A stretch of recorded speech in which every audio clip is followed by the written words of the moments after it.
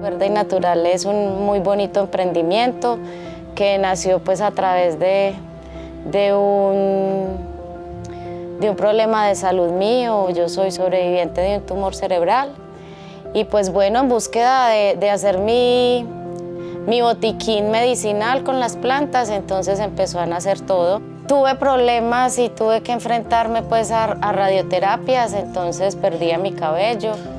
Eso me entristeció un poco, empecé a investigar, a leer y a tener una conexión con las plantas. Empecé a cultivar el romero, la menta, la sábila, eh, cannabis y pues con esos productos se empezó a fabricar un tónico. Empecé a hacerlo para mí, luego para mis familiares y se empezó a transformar en un emprendimiento muy bonito.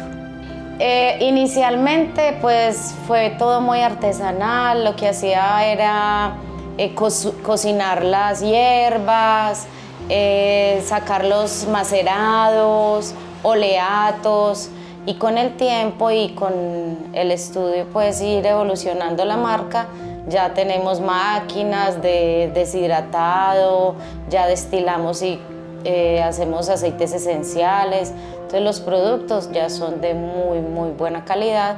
Sigue siendo un proceso artesanal, pero un proceso artesanal que es hecho con mucho amor y mucha responsabilidad.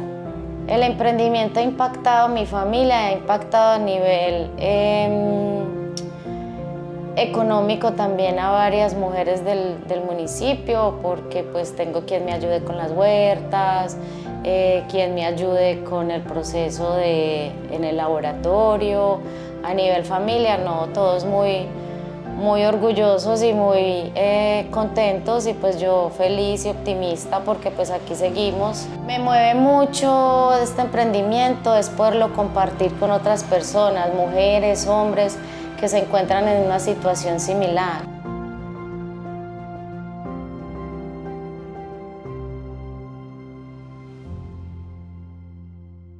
Change.